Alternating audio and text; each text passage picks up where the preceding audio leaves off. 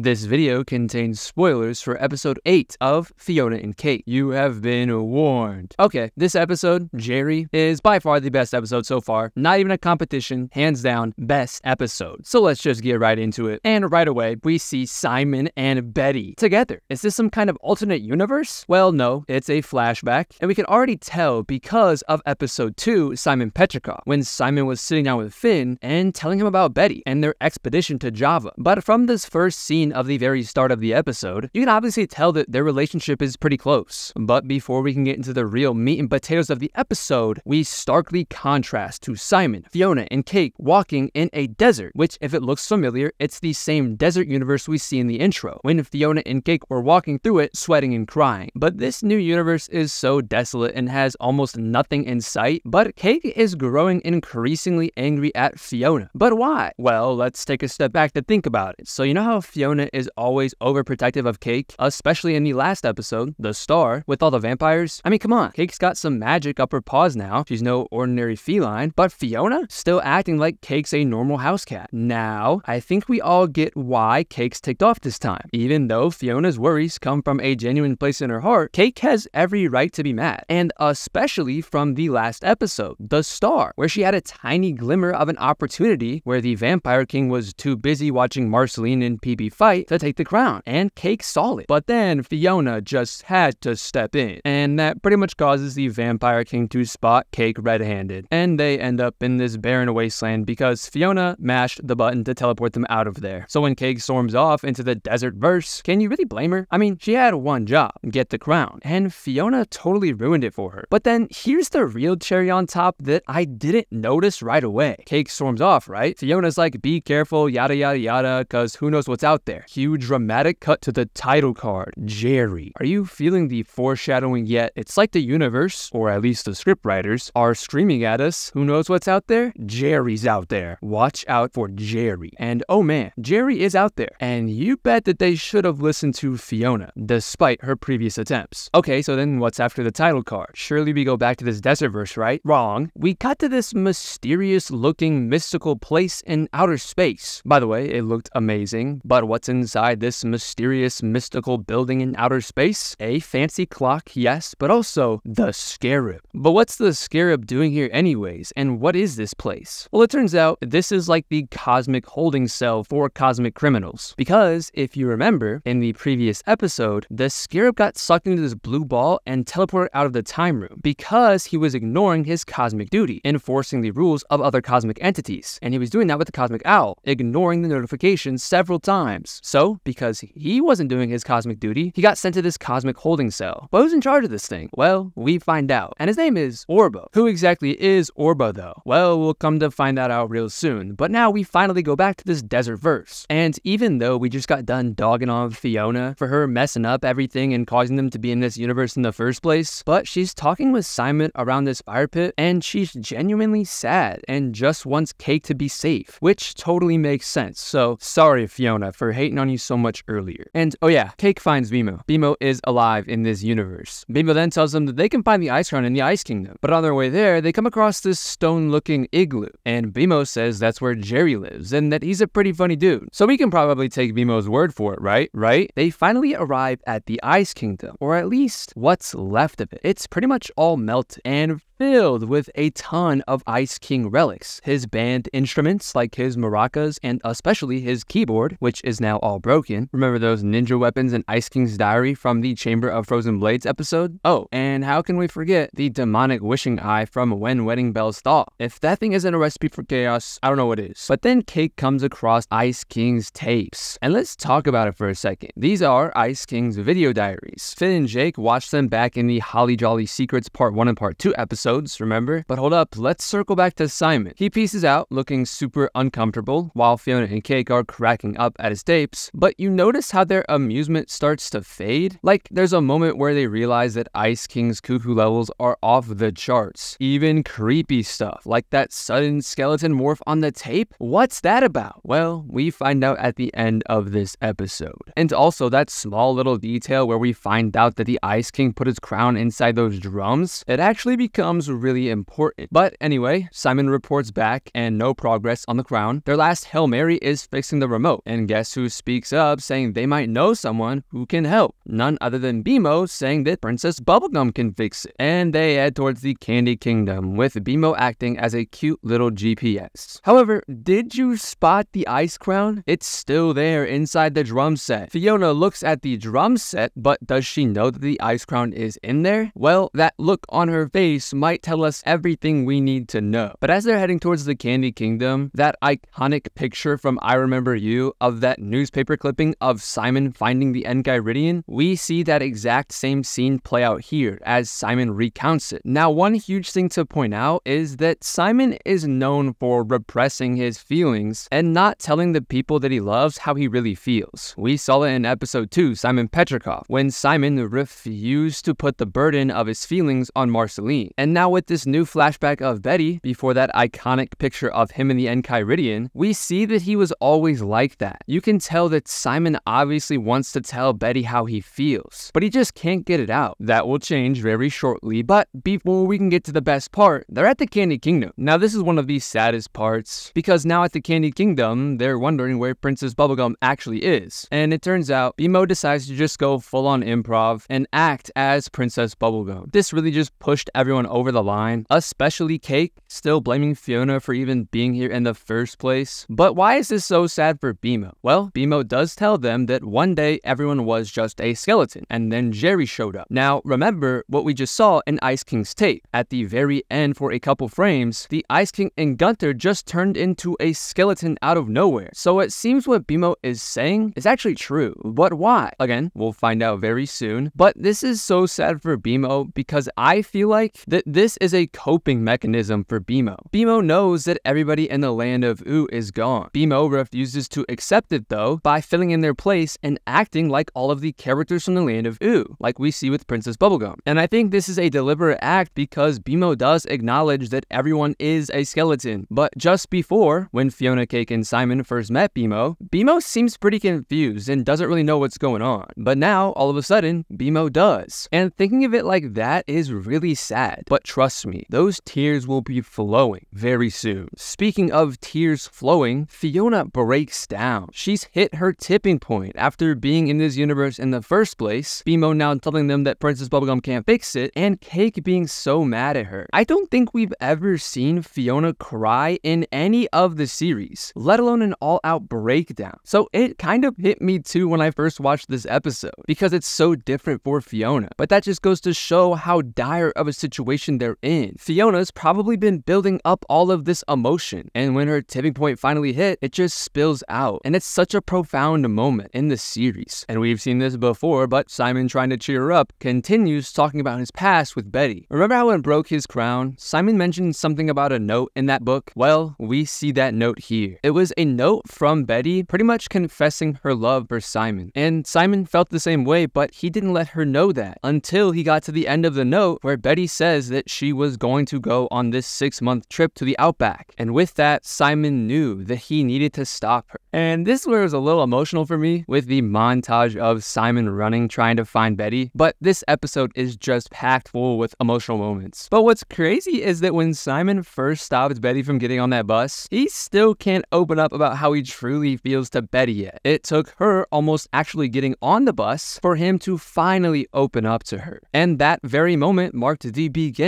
of their romantic relationship. Now remember how I said this episode was just filled with emotional moments? Well yeah, this next one is no different. Simon's story cheered Fionna up, but it also cheered BMO up, and he decides he's gonna use his own heart to try and jumpstart the remote for them. So BMO hooks it up, tries to get the thing going, and bam, it's a no-go. Our little buddy BMO dies. And what happens next? Cake, tears in her eyes, picks up BMO and, wait for it, BMO turns into an alarm clock. An alarm clock. Now I'll explain why BMO turned into an alarm clock in a second, but BMO literally sacrificed his own life for people he barely knew. Or if you want to go one step further, Fionna and Cake might have even reminded BMO of Finn and Jake. And with that, BMO knew that it was important for him to do everything he possibly could for them. So, no matter what it took, even BMO's own life, BMO decided to try everything to help Fionna and Cake. But why does BMO turn into an alarm clock after the touch of Cake? Well, we've actually seen this before, and it's like Fionna and Cake got this weird virus like power that either takes the power out of anything they touch or shifts them back to their default settings. Remember that time Fionna's cool new weapon became a butter knife? Or when a garlic bomb randomly turned into a straight up clove of garlic? Or that time when Cake turned that hot dog night into a normal hot dog? Yeah, we've seen this before. But then Cake has this great idea. She remembers how BMO mentioned that Jerry was BMO's friend and that he was pretty funny. So she decides that they should probably break the news to Jerry that BMO has passed. While they're headed there, they burst into the Cheers theme song. Simon, being a little fed up with the Cheers theme song, asks them if they know any other music. But then Cake starts singing the same tune that she sang when she and Simon first met. Don't you remember? From episode 3, Cake the Cat, after Cake jumped through the portal in the back of Simon's head, and after Simon put the voice collar on Cake so that she could talk, Simon asks how Cake even got here in the first place. Cake responds that she was just following a song. She then hums that song for Simon, and Simon gets really mad. He literally grabs Cake and is like, Where did you hear that? Now it all makes sense. Cake just hummed the same tune in this newest episode, Jerry, and Simon doesn't get mad this time, and he tells them where it's from. Simon reveals it was actually his and Betty's song. That's exactly why Simon got mad at Cake in episode 3, because at that time, it just reminded him of Betty, which at that point was kind of a bad thing because Simon just failed in summoning Betty. Then it's finally revealed who Jerry is. It's none other than the Lich. And similar to how he froze Finn in his tracks in the episode Escape from the Citadel using the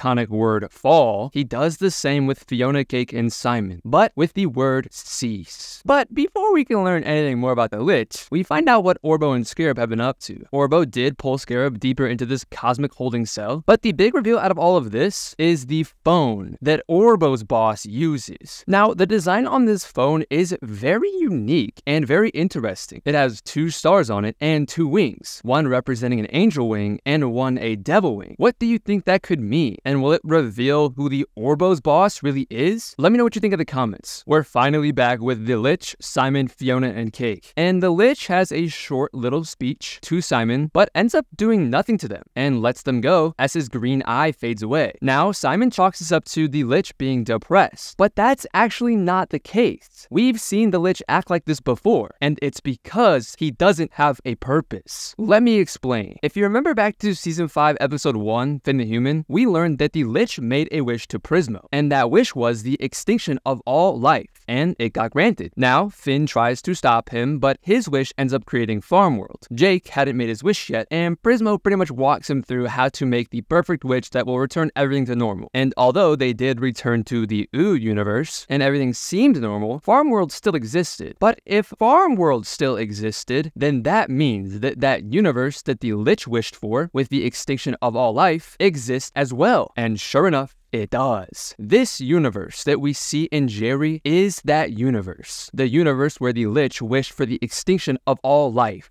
How do we know that? Two things. We saw our first little glimpse of it with those Ice King tapes, and for the very last few frames, Ice King and Gunter transforming into a skeleton out of nowhere, and then finally, BMO explaining to them exactly what happened. That out of nowhere, everyone turned into a skeleton. So what exactly happened? Well, that was the exact moment in time where Prismo granted the Lich's wish, the extinction of all life. And in that universe, everybody died. So then how does that explain the Lich here as we see him? And as Simon calls him, depressed. And why I don't think he's depressed, he just doesn't have a purpose. Well, Prismo explains it perfectly in the episode Wake Up from season 6, episode 1. This is where the Lich is trapped in Prismo's time room, but doesn't hurt anybody inside of the time room. He's just standing still. And Prismo explains that the Lich's role is to cause pure death. And because he can't do that in the time room, he's in a standstill, like a machine with without a purpose. And that's why we see him act the way he does in this episode, Jerry. He's not depressed. He literally just has killed everyone in that universe, so he doesn't have a purpose anymore. I would also like to formally apologize for what I said in my analysis of episode 6. At the end of that video, I said that I don't think the Lich is going to play an important part, and at this point, he just seems like a cool little Easter egg that we'll see in every single universe. And oh boy, was I wrong. But I'm happy I'm wrong. The Lich in this episode is so scary, and honestly,